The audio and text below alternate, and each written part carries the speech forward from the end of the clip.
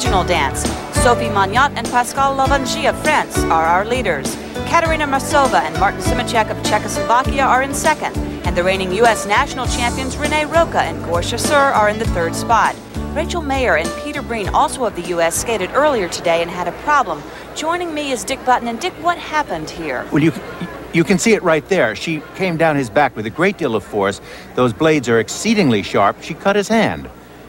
Now, right here you can see it. Look at his hand, reach down, and bang. You don't realize that. He instantly dropped her. We're going into the back there. I guess a good program needs a little blood, you know? well, after he got off the ice, Peter was taken to the medical area. We will keep you posted on how severe that injury is. Our next dance team from Czechoslovakia, Katerina Mrazova and Martin Simicek, in second place after the original program. They are skating to the Russian Gypsy Dance.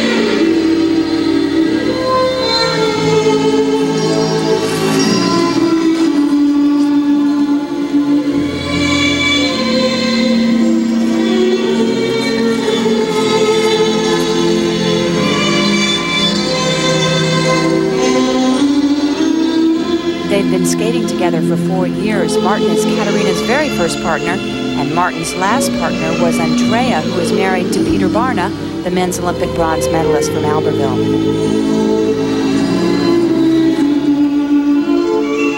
This is also Martin's first international competition.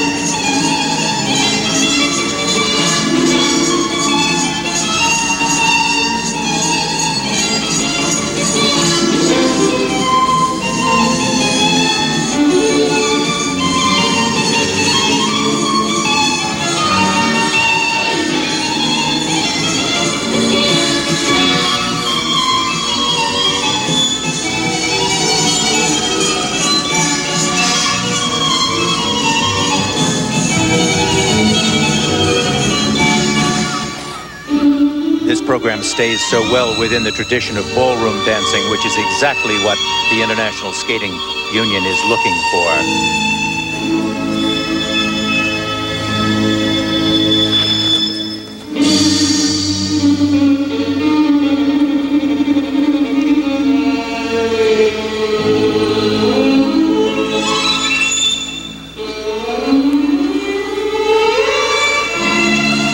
As a couple, they clicked immediately. Their first competition was the Czech Nationals, and they won it.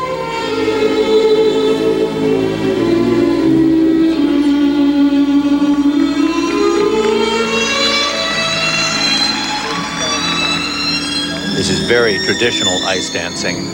The two staying in close proximity to each other and not interpreting music that doesn't have a dance feeling. You can see this being done on the floor.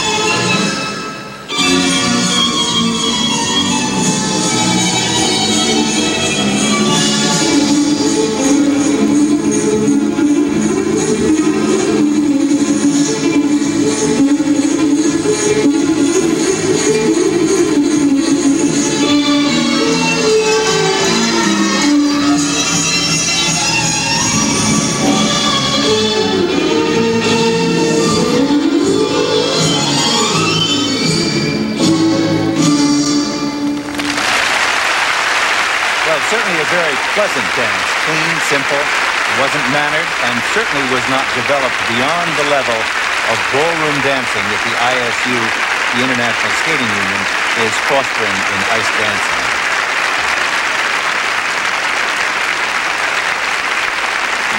We'll see what the judges think of that performance after this, and we'll also take a closer look at reigning national ice dancing champions Renee Roca and Gorsha Sur.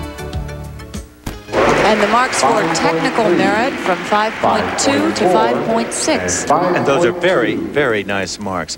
I think that what we're seeing here is the support for this kind of a dance team that doesn't break rules, that isn't flamboyantly out of line with where the intention is that ice dancing should go in these days. And look at these marks. The artistic impression marks from 5.4 to 5.7. Very nice, very nice. And that puts them in the lead for the moment. Rene